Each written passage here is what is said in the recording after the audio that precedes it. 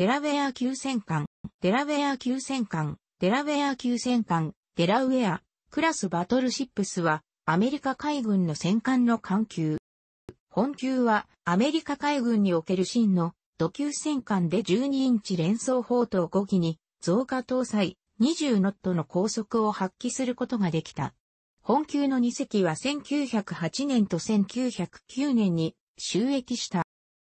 議会は新型艦の建造費が600万ドルを超過しないよう制限していたが、イギリス海軍のドレッドノートの収益と正確な情報の不足に刺激された。アメリカ海軍及び議会はドレッドノートを建造途中のサウスカロライナ級戦艦2隻よりも、はるかに高性能な艦であると考えていたために、艦型を大型化できる許可を議会から得ることできた。実際のところ、サウスカロライナがドレッドノートに劣るのは速力のみであった。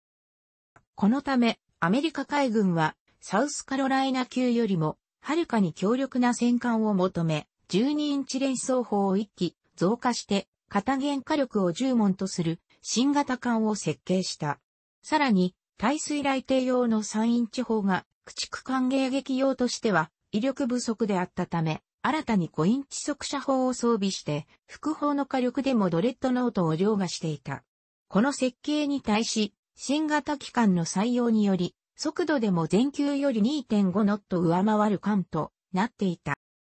デラウェアは1924年に売却解体処分されたが、ノースダコタはワシントン海軍軍縮条約により無線操縦の標的艦に改装されて1931年まで使用された後、同年1月7日に除籍、同年3月に解体処分された。前級のサウスカロライナ級は朝鮮主導型戦隊であったが、本級の戦隊形状は武装増加に伴う関係の肥大化を防ぐべく、艦型を小型化するための工夫として、艦首の還元のみ高い単線種型戦隊となった。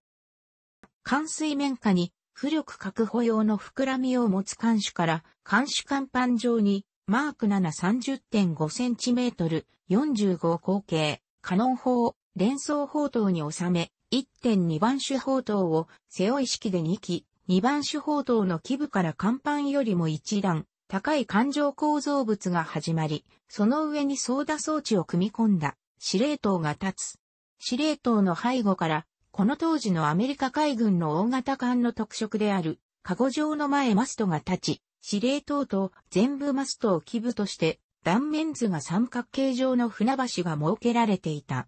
船橋の中央部に公開環境、全部マストの頂上部には露天の見張り所を持つ。全部マストの後部に一番煙突が立ち、そこから甲板一段分下がった左右原則甲板上が関西艇置き場となっており、関西艇置き場の後方に左右に一機ずつ立つ単焦灯台を基部とするクレーにより運用された。一番煙突の後方に、カゴ状の後部マストが立ち、頂上部に露天の見張り台が置かれた。その後方に二番煙突と後部見張り所が立つ。後部甲板上には3番手砲塔が後ろ向きに高所に配置され、その下に4番手砲塔と5番手砲塔が背中合わせに1機ずつ配置されていた。本級の原則部には12.7センチメートル51後継速射砲が重心低下を狙って1番手砲塔の側面部に独立して1機が配置されたが、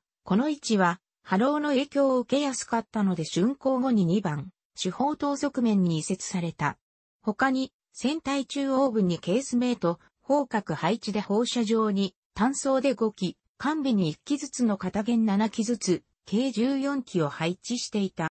本級の手法は、マーク3 25.4センチメートル、40口径砲である。その性能は、重量 394.6kg の砲弾を最大行角15度で18,290メートルまで届かせることができ、射程1920メートルで、ハーベ製、走行 251mm を貫通できる性能であった。この砲を連装砲塔に収めた。砲塔の旋回角度は、船体守備線方向を0度として、左右150度の広い旋回角度を持ち、方針の不良能力は行角15度、深角5度である。主方針の不要、砲塔の旋回、砲弾の溶弾、装填は主に電力で行われ、補助に人力を必要とした。発射速度は毎分2から3発である。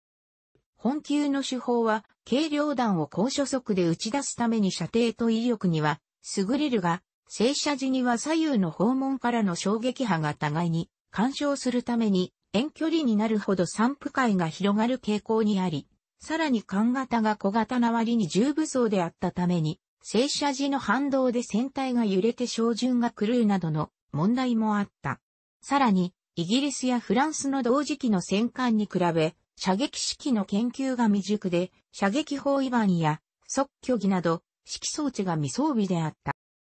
第一次世界大戦後、ユトランド沖海戦の戦訓により、アメリカ海軍は、すべての戦艦に射撃式装置と即挙儀を装備し、本級もこれに習ったが、時代はちょうど急戦艦の時代に入っていたために、ニューヨーク級戦艦ら14インチ砲戦艦のように、主砲塔の改造や新型重量弾の開発は行われなかった。このため、既存の主砲弾には空気抵抗を軽減し、長弾しにくい、非棒、カバーが被せられた改造品を扱い、これを量を減じた装薬で初速を減じて、打ち出す運用に改められた。これにより威力は1920メートルで 254mm を貫く威力から 274mm を貫通可能となった。副砲は本級から1910年型 12.7cm 51後継速射砲を採用した。その性能は重量 47.7kg の砲弾を最大行角15度では射程13,720メートルまで届かせられる。この砲を原則ケースメートで片弦7機つ、計4機を搭載した。砲画の不良能力は、行角15度、深角10度である。旋回角度は100度の旋回角度を持つ。方針の不良、砲塔の旋回、砲弾の溶弾、装填は主に人力を必要とした。発射速度は毎分6発である。その他に、対艦用に 53.3cm、魚雷発射管を水戦下に2門を装備した。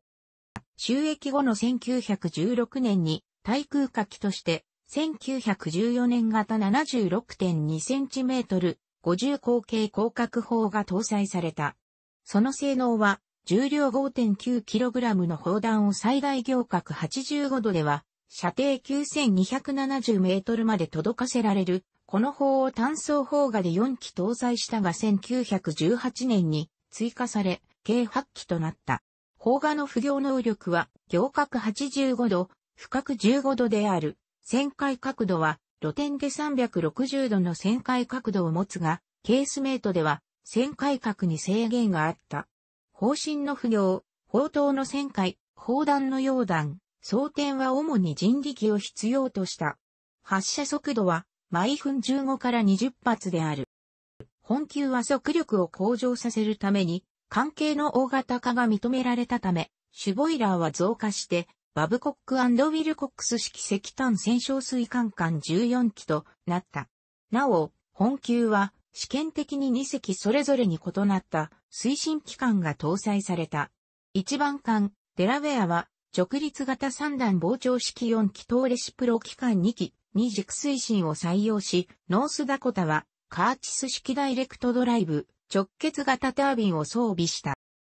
収益後の大やけみにより最大出力2万5000馬力で、速力21ノットを発揮した。竣工後の運用の結果、直結タービン搭載のノースダコタはレシプロ機関のデラウェアよりも航続距離が短いことを判明した。これは当時のタービンは加速、減速の調整が難しく、巡航速度以外では燃費が悪かったためである。このため、1917年にノースダコタは、イギリス製のパーソンズ式、ギアードタービンに換装されて、航続距離の延伸を図った。このタービンは、性能が良く、ノースダコタが条約により、廃艦が決まった時に、国産のカーチス式タービンの燃費が悪かったネバダに移植され使い続けられた。楽しくご覧になりましたら、購読と良いねです。クリックしてください。